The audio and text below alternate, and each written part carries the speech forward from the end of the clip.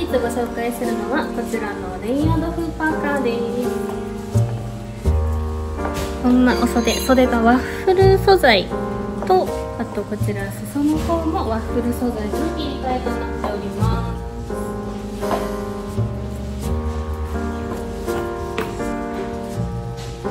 それはこんな感じで、えー、肘がギリギリ隠れるか隠れないかぐらいの結構長めのお袖の長さです。そしてフードも二重になっていて結構形がしっかりとしたタイプとなっております。スタイリングはこんな感じです。ダボダボのパンツとゆったりしたパーカーで合わせました。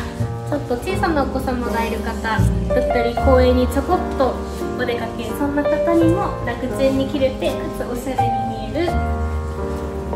簡単にできる楽ちんコーデとなっております。こんな感じでキャップ合わせたり足元はスニーカーで合わせていただくと